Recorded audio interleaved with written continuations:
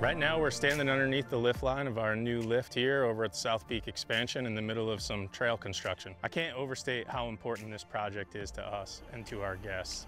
It is the sum of all of its parts. It's the lift, it's the terrain, it's the access to the ski resort. This project has been in the works for 10 years, if not more, uh, from the planning stages to get to where we are today. Really ramped up speed in the last, uh, I'd say, nine months.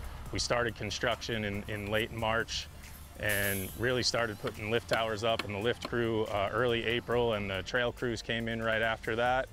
We're plugging along, about halfway done, all of the trail construction. Lift terminals are underway, lift towers, as you can see behind us, are already erected. So with, with all the new terrain that we're constructing here uh, at the South Peak expansion, we got this real feel of this old New England winding, kind of wide open, great beginner terrain.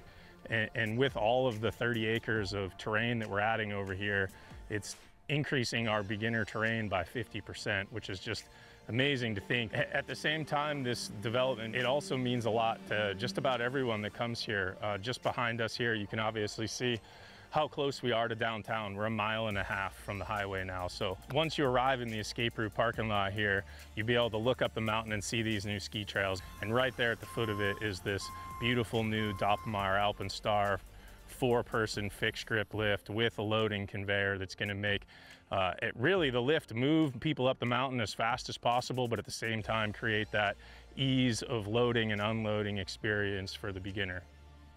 We're really excited to be where we are today with this South Peak expansion and, and, we're really excited to share it with you this coming winter.